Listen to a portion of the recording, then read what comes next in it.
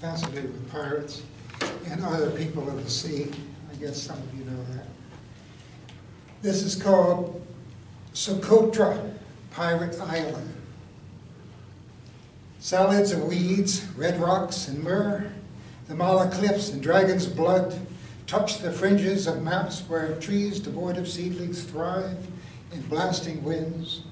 So sails the heart to crustaceans, each moment dying into newer species of crab and krill, born of night mist even now, lifting with the sun.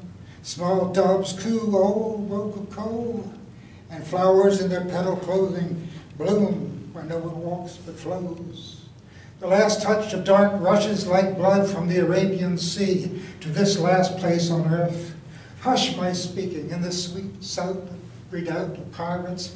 Mysterious snakes rain as if from space. Even light catches its breath at morning.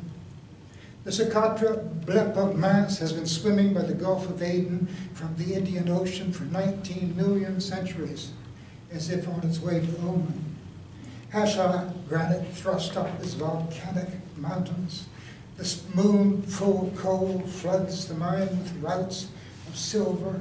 Turtles with two heads of dreams and lizards climbing trees, goats newly milked by their young, fall asleep into the soft depth of the island, quietly bleating.